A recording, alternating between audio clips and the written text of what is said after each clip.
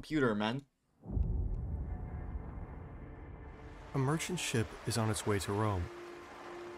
It is loaded to the brim with treasure. Just past Crete, it gets into a heavy storm. The 300 tons of cargo Yeah, yeah. very heavy, possibly too heavy.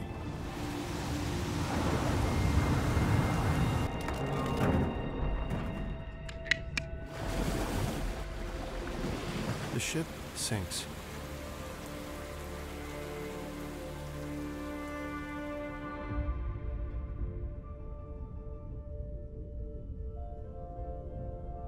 History became legend, legend became myth, and for over 2,000 years, the ship passed out of all knowledge.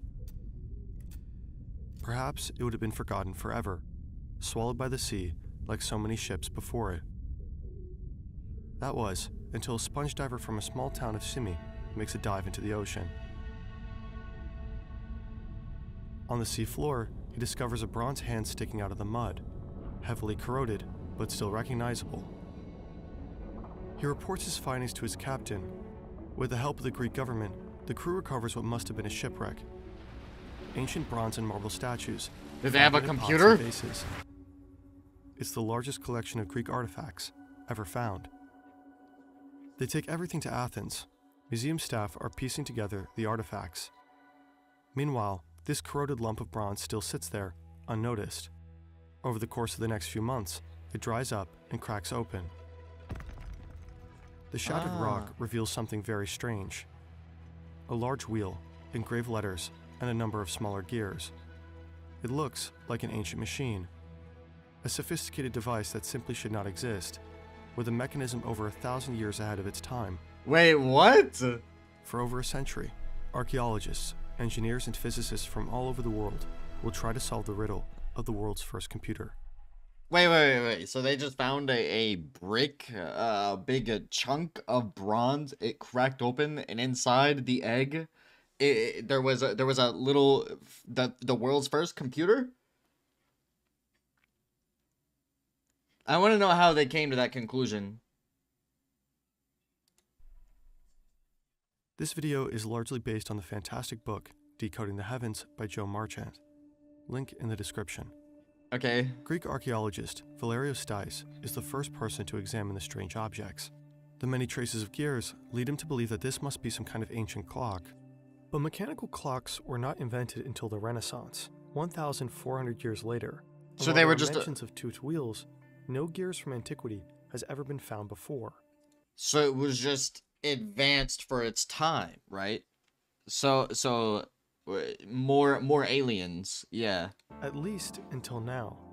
Stais soon realizes that he needs the expertise of others. He invites John Svoronos and Adolf Wilhelm, both experts in ancient text. They decipher the scribblings as ancient Greek letters. Another scientist named Pericles Rhodiatus studies the inscriptions and suggests that they must be operating instructions. This word in particular stands out to him. It's an old and unusual word for the zodiac scale, a scale dividing the year in 12 zodiac constellations. Rhodiatus and Svoronos conclude that the device must be an astrolabe, an ancient calculator to measure the position of stars and planets. Calculator. Astrolabes don't need gears. Maybe this strange astrolabe was somehow able to determine the position of stars mechanically.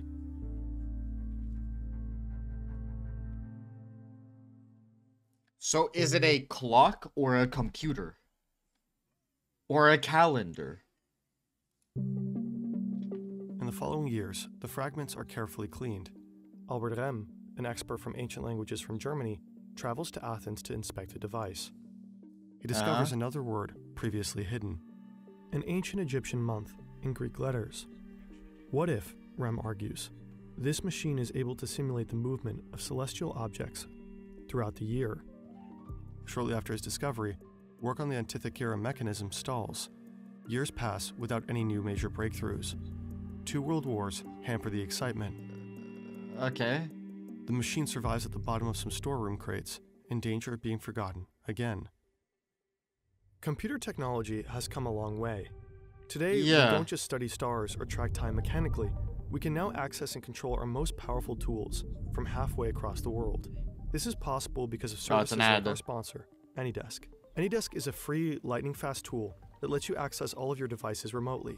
Whether you're making complex 3D animations on your laptop from the coast of Greece or just helping a family member troubleshoot tech issues, AnyDesk is here to help with reliable and secure connections, even in low bandwidth situations. The clean interface makes AnyDesk a breeze for anyone to use. It's available for all platforms, from your laptop into your phone, all the way to your grandmother's Windows XP machine. If the Okay. Antikythera mechanism would have had an internet connection, maybe it could have run AnyDesk as well. If you want to check out what AnyDesk has to offer, go to anydesk.com slash fern and try it for free. Isn't this what the scammers use to like take your credit card and whatnot, your bank information? They scam you out of buying gift cards. Yeah, they use AnyDesk. Fast forward to A 1953. remote desktop. A new generation Yeah. of divers is in the waters near Antikythera. yeah. Among them, Jacques Cousteau, filmmaker and pioneer. Thanks to him, diving gear went from this to this. Divers can go much deeper now. there Yeah, are he's a many stories pioneer, of man. treasures that fell over the cliff beneath the wreck site. They were out An of reach for the sponge divers back then, but not for Cousteau and his crew. After days of searching, they find something buried under a thick layer of sand. More. The sunken ship's hull, almost perfectly preserved. Ooh. But the crew does not have the necessary equipment to unearth it. They return two decades later with better gear and a camera. The crew finds more treasure, but no new parts from the mechanism. Luckily, science itself is developing rapidly. Derek Price, a historian from the UK, uses newly developed X ray technology to scan the existing fragments. He finds more gears and is able to build the first model of the Antikythera mechanism. He calls it a calendar computer. But his model isn't very accurate. For it to work, Price had to change the number of teeth on the gears, despite his X ray images showing otherwise. The researchers Michael Wright and Alan Uh-huh. Bromley see that Price clearly made some mistakes, so they decide to solve the mechanism themselves. The- So it's a computer calendar.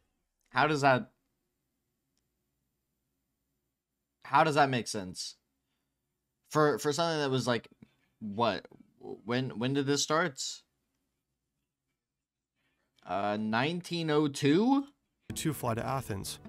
For a month, they re examine, measure, and photograph the 82 remaining pieces of the device. But after 2,000 years, and likely passing through as many hands, the inevitable happens. Oh my god. Maybe an. X ray was the right call, after all. The two learn of a relatively new technique called tomography. It basically works by taking multiple slices of pictures from an object and putting them together afterwards. They take a total of 700 images. With them, they can have a clearer look at the inside. After years of work, Wright and Bromley are this close to unraveling the mystery. But suddenly, Bromley cuts ties with Wright. He Why? thanks Wright for his work, takes the images, and leaves. A few years later, Bromley is diagnosed with cancer. It's like a puzzle. On his deathbed, he confesses to Wright he alone wanted to be known for solving the Antikythera mechanism, Oh my but he failed. In the end, Bromley hands over his 3D scans to Wright. Wright The had already greed. designed a prototype in 2002, but with these images, he would be finally able to solve the device. Or so he thought. Tony Freeth, a mathematician and filmmaker, gathers a group of researchers under the Antikythera Mechanism Research Project. The group scans and measures the fragments yet again, this time with even better and newer technology. The quality of their images is astonishing. Even the smallest inscriptions, hidden deep within the stone, are now readable in sharp detail. Wow. They regularly publish new papers of the device. There are a few more expeditions to the shipwreck, with drastically changed diving gear. But again, Yeah, yeah, no one yeah. can find new pieces of the mechanism on the seabed. In 2021, Freeth and the others are finally able to put together all the pieces of the puzzle. They are able to combine all the evidence of the last century in one machine. We finally get to see what it is. The mystery of the world's oldest computer is finally solved.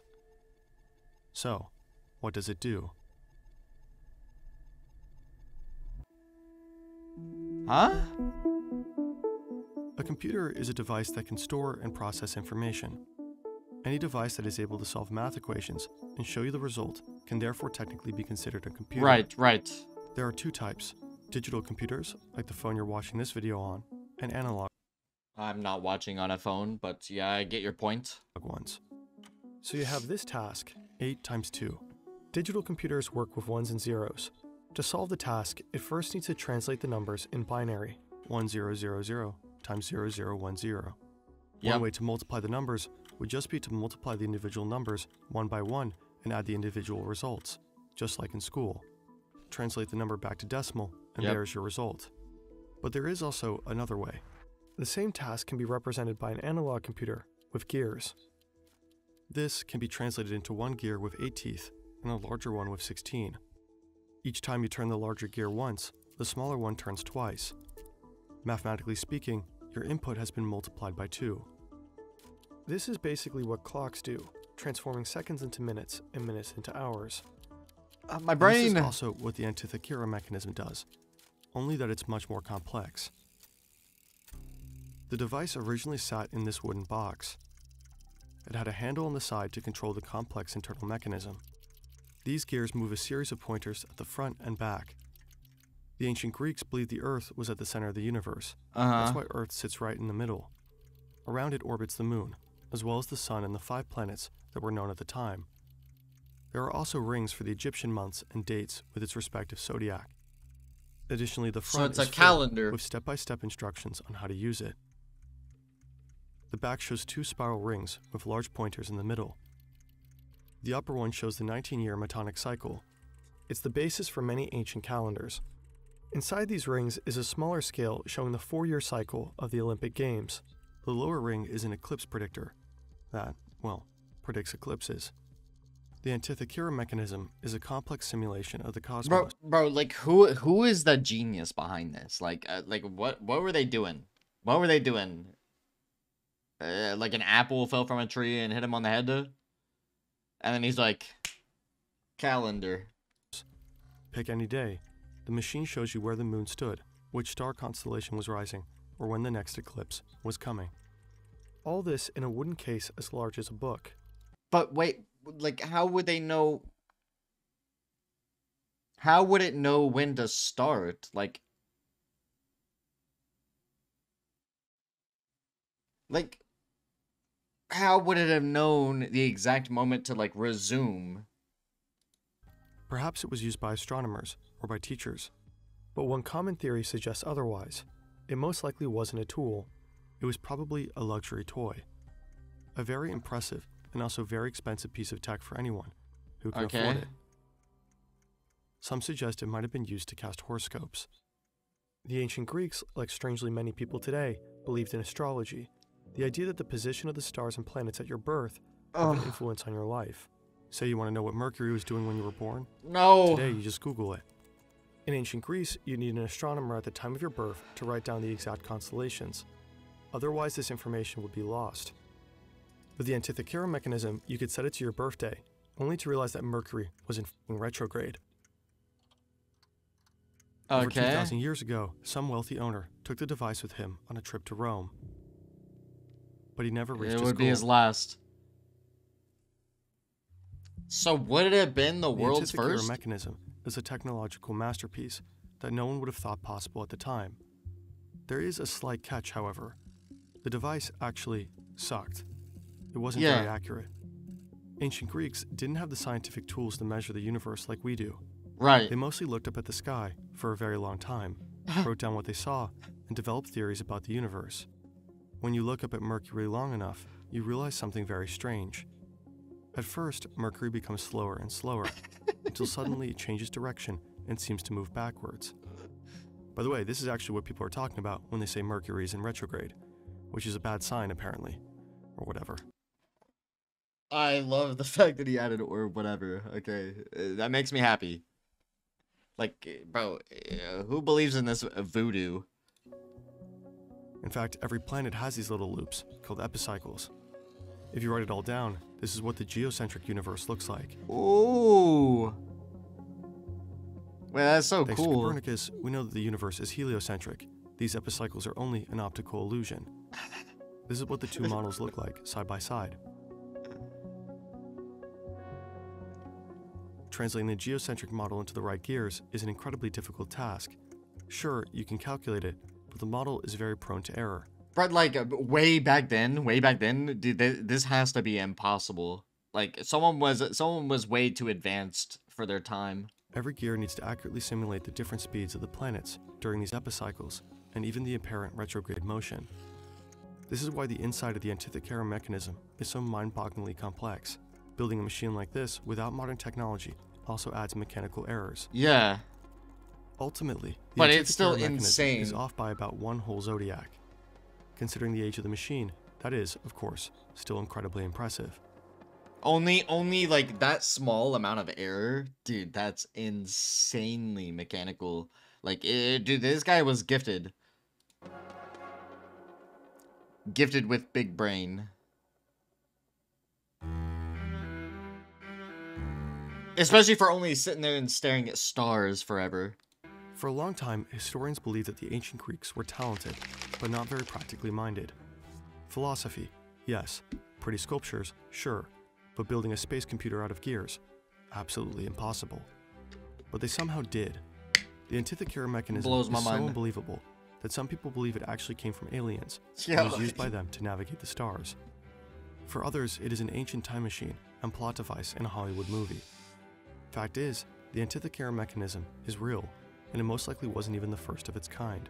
Several ancient yeah, there had to yeah, there had to have been prototypes, right? Like uh like going over and I wonder I wonder like what the prototypes look like. If that's the final product. Yeah, but like everything's always aliens, bro. Pyramids, aliens. Insane mechanical calendar clock, aliens. device designed by Archimedes. Come a on, sphere bro. that shows the motion of the sun, moon, and planets around the Earth. But it was lost. The bronze inside the machinery melted into coins.